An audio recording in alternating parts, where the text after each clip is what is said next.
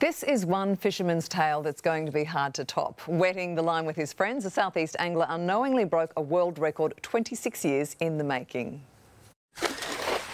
Fishermen, including Roy Graham, are known to exaggerate stories from time to time, but this tale is true. He's Australia's newest world record holder. It was just a group of me and the boys. We just come up the creek for a bit of a bit of a Sunday arvo sort of a drinking session and throw the cast net around. Fishing with mates here at Tingalpa Creek in Capalaba, he pulled in this bass. Certainly not a monster by any means. That's his cousin in law holding it.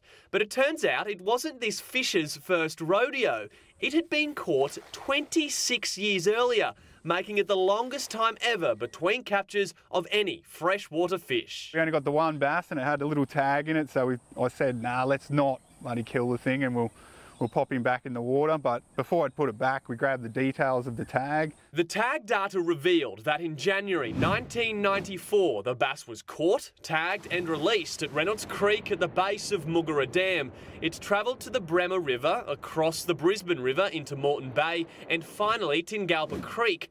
190 kilometres away and 26 years later, it was caught and released for the second time. There is one problem though. Roy didn't get a photo with his fish. So I've got an idea, all right, mate. Hold your hands out like this, right?